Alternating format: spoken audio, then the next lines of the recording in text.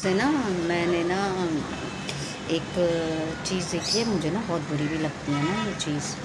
तो वो क्या है कि जो ना बर्ड्स वगैरह रख लेते हैं। मैंने ना बिल्कुल घर के सामने, मैं दिखा नहीं सकती, किसी का घर है प्राइवेसी वो नहीं दिखा सकती मैं, ठीक है?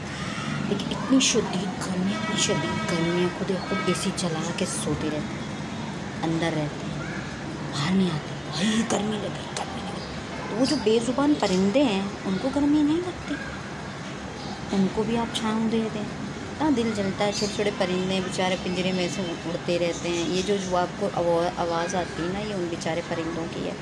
तो मुझे बहुत बुरा लगता है। देखिए, हम जो चीज़ नहीं, हम खुद के लिए तो हम लोग बहुत फैसिलिटीज़ सोचते हैं, बहुत कुछ सोचते हैं। लेकिन ये जो बेज़ुबान परिंदे होते हैं बर्ड्स होते हैं, इनको भी तो वो चाहिए ना। आप एक पिंजरे में उसको कैद करते हैं। मैंने बहुत टाइम पहले रखे थे, अपने पास बजीज रखे थे।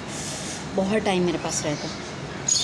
फिर मैंने ख़त्म कर दिया, सब हटा ये कितनी अच्छी आवाज़ आती है इनकी, जो मेरे गार्डन देखते हैं ना मैं पानी देती हूँ प्लांट्स को। इतने खुश हो जाते हैं, इतने खुश हो जाते हैं, ऐसे लगता है इनको कोई गार्डन में छोड़ दिया।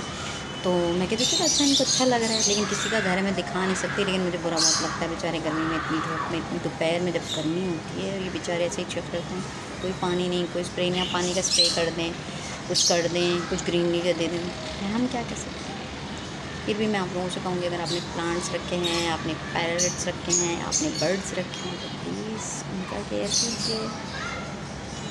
भी फीलिंग्स रखते हैं। और मैं ना सोचती थी मैं सोच रही हूँ कि ट्रांसलेशन वीडियो बनाऊँ बनाऊँ बनाऊँ, लेकिन पता ही क्या होता हमारी वीडियो आनी, आपने क्या करना? स्वाइप और ये किसी और की आ रही है ना। ठीक है? इतनी मतलब